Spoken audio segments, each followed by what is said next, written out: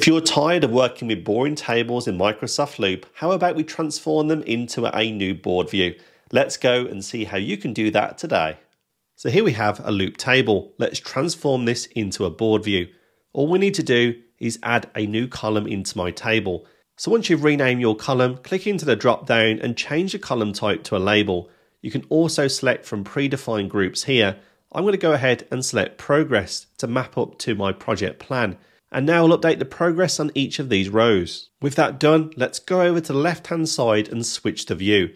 You'll now see you have an option for a board view. And we now transform your loop table into a board view. But not only that, you can left click and drag to move it between each of these buckets and easily open any of these tasks and well we can add additional fields to capture more information.